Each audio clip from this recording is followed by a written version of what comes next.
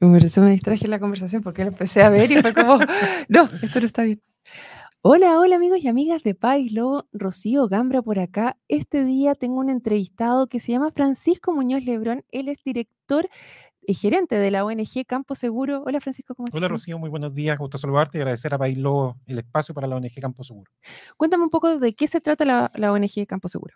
A ver, esta es una institución colegiada, eh, una organización no gubernamental que está conformada por eh, cinco gremios, eh, que dos corresponden a la región de los lagos, perdón, tres corresponden a la región de los lagos, que son Sago, Aproleche y Agroyanquihue, y dos de la región de los ríos que corresponden a Zabal y Aprobal estos cinco gremios forman el TNG, digamos, formalmente. Eh, a partir del año 2021 empiezan las conversaciones respecto a algunas tomas que se produjeron bastante violentas, particularmente en la región de los ríos, y el 2023 finalmente nos formalizamos, ingresamos un equipo de trabajo, y los ejes principales de acción corresponden al, al ámbito judicial, es decir, la defensa jurídica de aquella persona o productor que resulta afectado por una usurpación, un aspecto comunicacional que es relevante para rebatir ciertos argumentos de estos grupos más radicales, un aspecto legislativo que es la, digamos, interceder, eh, hablar con los parlamentarios y eh, tener mayor participación en la formulación de leyes, y también un aspecto cultural que es la organización propiamente tal y de fortalecer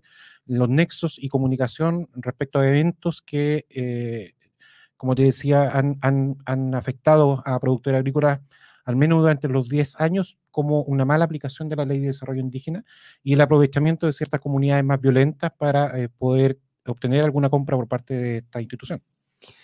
Mm, dentro de los que tú señalabas acá, que decías que era más violenta la región de los ríos, me mencionabas que tenían, hablan principalmente de predios agrícolas, pero lo que queda más en la memoria, en la retina de las personas que ven las noticias, está más asociados a predios forestales. ¿Están ellos dentro de su organización también o esto efectivamente es solamente temas agrícolas? Nosotros, eh, la, prioridad eh, es la defensa jurídica de los socios de los gremios de componentes de campo seguro eh, y obviamente trabajamos también con otros ámbitos productivos, incluso con nosotros asesorándolo y también apoyando comunicacionalmente, que es un tema muy relevante. Aquí la, la, la historia de estos hechos recientes que cualquier comunidad argumenta eh, ser, eh, eh, tener posesión sobre algún derecho, algún sitio cultural o religioso y otras instancias que lamentablemente tenían una sola voz en la prensa y Campo Seguro está para defender el tema comunicacional, pero también, como te decía, titularmente el tema jurídico sobre a socios de estos gremios, pero sin perjuicio de ello,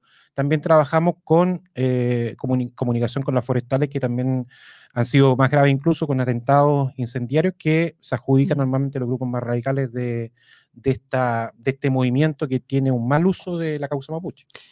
Esto es una noticia a la cual lamentablemente estamos acostumbrados en la Araucanía en la región de los ríos, ya mencionaba que habían algunas respecto forestales. ¿Qué pasa aquí en la región de los lagos? nosotros en la historia reciente, nosotros en la región de los lagos tenemos 16 eh, atentados incendiarios, el último fue hace recién tres semanas, con 19 maquinarias afectadas de una forestal, de un contratista forestal incluso.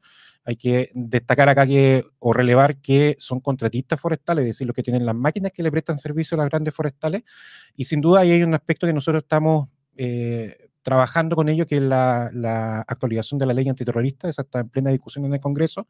Eh, ustedes saben que Río Negro, San Juan de la Costa han sido eh, frecuentemente lugares de atentados, pero la ley antiterrorista no tiene las herramientas necesarias para poder perseguir penalmente. Y aquí hay que decir una cifra lamentable, no hay ningún sancionado penalmente por los delitos cometidos en esta región, eh, delitos claramente terroristas. ¿Y eso es porque no están identificados o porque no fueron perseguidos bajo ese, ese eh, modelo, esa figura?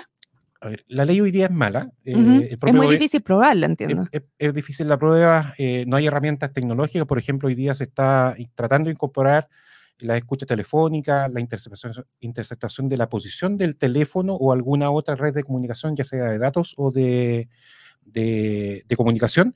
Y en ese sentido, como te digo, hay herramientas de ley antiterrorista actual que no son aplicables a estos delitos que están, se están cometiendo hoy en día desde el Biobío o incluso la región del Maule hasta la región de los lagos. Eh, y solamente conocemos la condena de Héctor Yaitul. Eh, hay un par de hijos también que están eh, perseguidos penalmente, pero sin duda es un mal resultado que nosotros no imputamos ni a la fiscalía ni a los tribunales, sino que efectivamente a una mala ley que hoy día rige los actos terroristas. y esa ley que está en tramitación tiene esperanza de salir de luz verde. Pronto está dentro de las medidas que de la discusión sí, express. Está, en la agenda priorizada de seguridad que acordó, eh, digamos, ambas cámaras con el gobierno. Esta ley se ingresó en agosto del año 2023. Obviamente hemos seguido toda la tramitación. Hoy día se encuentra en la Comisión de Seguridad de la Cámara de Diputados eh, con la votación en lo que se llaman los artículos específicos, pero que hay hoy día son buenos, son precisos para la ley, para, digamos, para los actos terroristas que han cometido, eh, pero también aspiramos a que todos los parlamentarios, que puedo, cuando ocurra la votación, también tengan conciencia de lo que ha ocurrido en Chile en los últimos 20 años respecto a estos actos terroristas y la poca cantidad de condenados que hay. Esta es una ley que está en conversación y que vamos a ver cómo son las votaciones, pero hay una ley que entró en vigencia hace muy poco tiempo, la ley de usurpaciones. ¿Cómo ha apoyado esto en el tema que ustedes están recordando? Bueno, esa ley sí la esperamos bastante. Los primeros proyectos fueron presentados en el año 2013. Las primeras usurpaciones en Chile o en la zona sur se empezaron a producir en el año 2006. Eh, y aquí hay un lamentable precedente que se instaló, Rocío, que es que las comunidades violentas se tomaban los terrenos y luego la CONADI, la, la CONADI lo compraba. Entonces, finalmente se validaba eh, la, violencia como medio para eh, obtener la compra de, un terreno. Acá se hicieron intentos en nuestra zona, tuvimos eh, sendas usurpaciones en la comuna de Río Bueno, particularmente, eh, en Frutillar, que finalmente se termina comprando por parte de Conadi el terreno tomado a un privado. Y obviamente nuestra labor es cambiar esa, ese sino que existía respecto a una toma y posterior compra de parte Conadi. Hoy día la ley no tiene más resguardado, precisamente por la ley de usurpaciones aprobada el año, en diciembre del año 2023, y también por un artículo muy importante que se insertó en la ley de presupuesto, que prohíbe a Conadi la compra de cualquier terreno que sea perturbado, es decir, que no existan amenazas, intimidación, coerción y menos, por supuesto, toma. Y ahí yo creo que hay un, hay un antes y un después respecto al procedimiento que establecía Conadi para la compra de terrenos. ¿Y eso tiene una entrada en vigencia de es cualquier terreno o de aquí en adelante? Eso parte del 2023. O sea, o sea cualquier terreno que desde el 2023 en adelante sea perturbado no va a ser por. Así es. No puede ser comprado por Conadi. A ver, pero también han, tú sabes, Santiago u otros sectores, la toma de parcelas, la toma de edificios, oficinas, cualquier, cualquier bien. Eh, si tú logras identificar a una nueva persona que se está tomando tu terreno, independiente que haya sido previo al 2023, eh, Carabineros puede actuar en flagrancia y obviamente la persona resulta detenida y formalizada por el delito de usurpación. Perfecto. Em, ¿Cómo eh, están funcionando ustedes con la Comisión por la Paz y el Buen Entendimiento que se generó el año pasado? Sí, también. ¿Sí están trabajando en eso también? ¿Son parte de la mesa? No, no somos parte de la mesa. A ver, la, la comisión efectivamente la la, la convoca el presidente de la República a raíz de los hechos de violencia en la Araucanía y, digamos, en, en, una premisa que hay una demanda satisfecha de tierras. Eso no lo compartimos nosotros. Obviamente sí compartimos que ha habido un uso excesivo de la violencia. Son más de 1.600 casos de violencia que han ocurrido en los últimos cuatro años en la macrozona sur del país. Eh, nosotros en nuestras regiones hemos recibido parte de la influencia de sus grupos más radicales, la más conocida la CAM, la otra ORT que, que son también que actúan en esa región y en nuestras regiones. Y en este sentido, la comisión, como te decía, lo primero es identificar cuál es la demanda de tierras no, satisfechas, generar eh, diálogos y acercamientos entre las partes involucradas y también tener una medida de compensación a las víctimas de los hechos de violencia o terrorismo particularmente. Y ahí Eso es un componente nuevo, entiendo.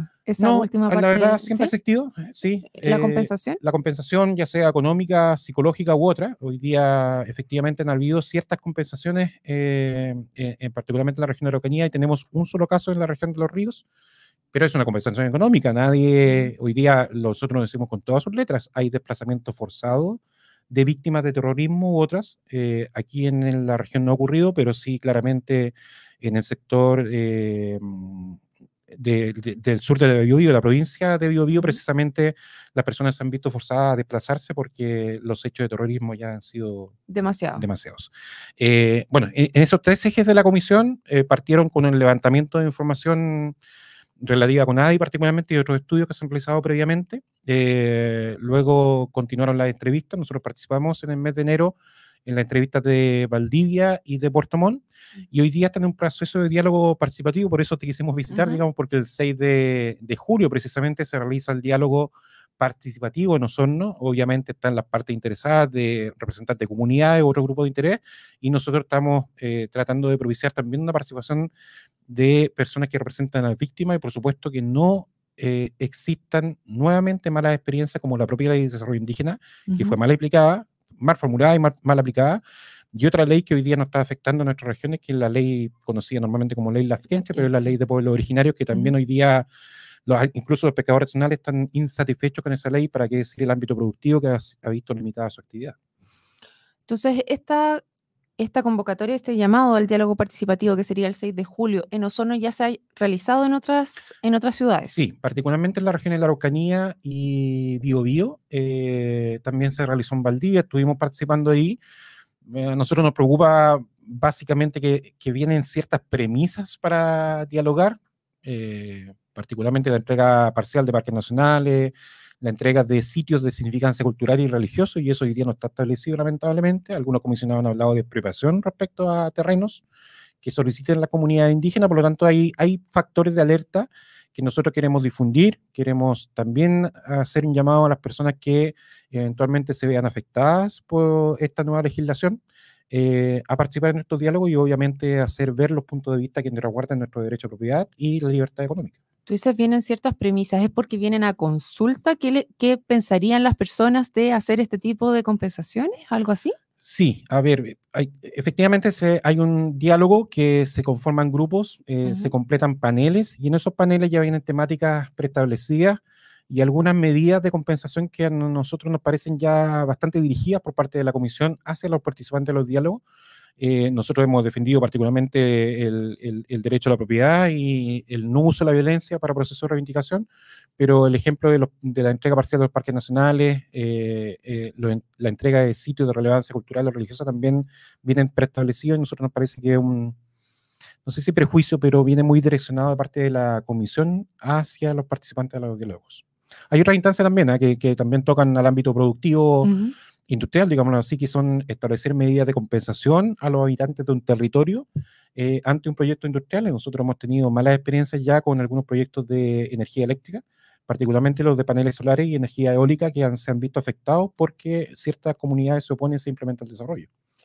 Ok, entonces, pero ahí está dado por las consultas que se tienen que hacer a los habitantes del lugar y no por compensaciones posteriores a ese tipo de, Hoy, día existe un proceso de participación ciudadana a través de la, del Servicio de Evaluación Ambiental, pero ya sería un paso extra el que estén obligados a compensar económicamente a las personas, no personas, comunidades indígenas que habitan en un Solamente a comunidades, no a todas las personas del local. Nosotros ah, en ciertas discusiones hemos apelado a que la ley es discriminatoria, eh, porque forma parte de una comunidad o tiene apellido indígena, tiene mayores privilegios que una persona que no lo tiene, ya es discriminatorio. Hay una discriminación positiva, obviamente, para los pueblos originarios, pero eh, creo que en estas instancias de propuesta de parte de la comisión, de algunos comisionados, ya hay excesos que no podemos permitir como ciudadanía. Perfecto. Entonces, bueno, para ir cerrando la entrevista, eh, unas reflexiones finales, la invitación que quieras realizar. Nosotros también, eh, bueno, Campo Seguro tiene, yo diría hoy día, el 70-75% del foco de atención en la, en la, comisión, no solamente Campo Seguro, sino que los socios, los gremios que componen la ONG, otros interesados que se puedan ver afectados, pero también trabajamos en la temática, obviamente pendiente siempre del tema de usurpación, atentados, abigeato, eh, que también es un delito recurrente en la zona. Contamos con el acompañamiento jurídico a las víctimas de abigeato y particularmente todo lo que tenga que ver con la relación de eh, la libertad económica, el derecho a trabajo, los derechos humanos de propietarios agrícolas y sus trabajadores y sin duda eh, apelar a que el sur se siga desarrollando en paz y no con hechos de violencia. ¿Están haciendo algo también con los perros o no? Lo... Una pregunta. No, es que pregunto lo, a raíz de la dentro de, eh, eh, por el momento ONG Campo Seguro no lo va a tomar, pero sí acompañar a los gremios que tienen interesado esto y ahí aprovecho también de una pincelada. Lamentablemente se rechazó un proyecto de ley hace dos meses respecto a eso. Eh, hoy día tenemos que esperar un año para poder retomar alguna, alguna propuesta legislativa, pero bueno, hay que tomarse en serio ese problema y trabajar mancomunadamente porque hoy día no solamente está afectando eh, la, masa, la masa ovina, sino también la fauna silvestre eh, y otros daños que se han producido incluso personas por parte de los perros silvestres. No, sin lugar a dudas es un tema que está latente y que no puede quedar descuidado. Eh, y en el tema del abigeato, ¿cómo lo están tratando entonces? Hoy día estamos, eh, hay una ley que hoy día, un proyecto de ley, perdón, que no está con suma urgencia, pero sí está en la Comisión de Constitución de la Cámara de Diputados, que incorpora dos nuevas temáticas para nosotros muy relevantes. La sanción penal a quien comercialice venta de carne proveniente de abigeato y también la calificación de crimen organizado a los grupos que se dedican a esto. Hoy día, por la contingencia, la ley de robo de madera, por ejemplo, es mucho más avanzada y tiene mejores sanciones que la ley de abigeato. Hoy día nosotros estamos eh, bregando porque efectivamente se apure la legislación respecto al abigeato. La última modificación fue el 2013 y nosotros tenemos datos relevantes respecto a eso. Bajamos de 1.000 casos anuales a 300 casos anuales. Por lo tanto, aspiramos a que esta legislación Al también endurecer la ley. al- no solamente endurecer, nosotros no buscamos solamente más penas, sino que las herramientas, tanto a las policías como a las fiscalías, sean más efectivas. Y obviamente todos sabemos que estos son un, son un grupo organizado, por lo tanto merecen la calificación eh, no solamente para mayores penas, sino que ma- mayores medidas precautorias para estas personas que se dedican a este ilícito. Eh, ¿cómo? Mm, Me voy a poner del otro lado. Todos sabemos que están organizados. Efectivamente, hay muchos indicios de, organi- de organización dentro de las personas que producen el abigeato. El último grupo sancionado Ujú. eh, en, en esta zona que cometía delitos en Río Negro, en Puyehua, en propio Osorno, eh, constaba de 12 integrantes. Personas que se, se dedicaban al robo de los animales, personas que se dedicaban al blanqueo, es decir, tenían un Ujú. previo, tenían una empresa formalizada y luego llegaban a feria. Ese era el nivel de Organización. organización, Ujú. mafia, voy a decir más vulgarmente, pero organización Ok. de- con la cual cuentan porque es un trabajo muy lucrativo. Para, siempre lo, lo se ha dicho, digamos, el, el riesgo de la ganancia eh, e- es atractivo en este delito porque es de difícil persecución, no sé que reconocerlo, pero por eso la legislación también tiene que ser más fuerte para prever y también combatir a organizaciones que están, valga la redundancia, mucho más organizadas que antes. Perfecto. Bueno, Francisco Muñoz, gerente de la ONG Campo Seguro, muchas gracias por venir a conversar con nosotros hoy. Y a todos los que se sumaron, los dejamos invitados a que revisen esta y otras conversaciones en www.pailo.cl. Nos vemos. Chao, chao.